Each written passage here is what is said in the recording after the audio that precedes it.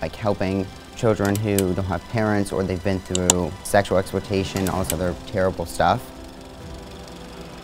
Bishop Watterson High School in Columbus, Ohio, population around 1,000, including brothers Quentin and Carson King. We knew we wanted to do something big, and that's kind of how it all started. Big is the definition of the orphan crisis in Asia. 30 million orphans alone in India. What we're trying to do is to provide a family style alternative to institutional orphanages. John McCollum runs Asia's Hope from here in Columbus, and his mission is personal. He's adopted a son from Vietnam, one from Korea, and a daughter from China.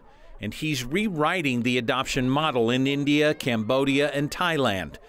Up to 20 kids at high risk for abuse or exploitation. They live in a family style home with parents to guide them. Asia's Hope right now serves about 1,000 kids, same size as Bishop Watterson. But when I'm going to some place like Cambodia uh, or Thailand or India, where a full ride college scholarship might be $3,000 a year, all included. I can get involved, you can get involved. And the King brothers can get involved because when they found out what they might be able to do for kids in Asia, the self described bubble they lived in broke.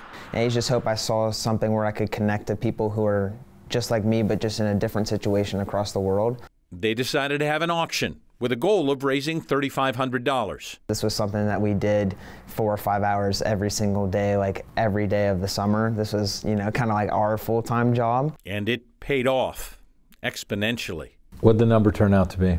Uh, 57,000. Blow your mind? Yeah. Still? Yes, it does.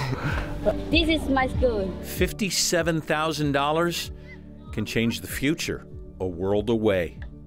My friends and I can't wait to see you and play with you when you come to visit Kalimpong. You know, at a young age, they've seen I can do something bigger than just uh, live my own life. Seeing the world outside of the bubble that we live in, um, you know, it's just amazing to see how much one person, two people can do to really affect someone's lives.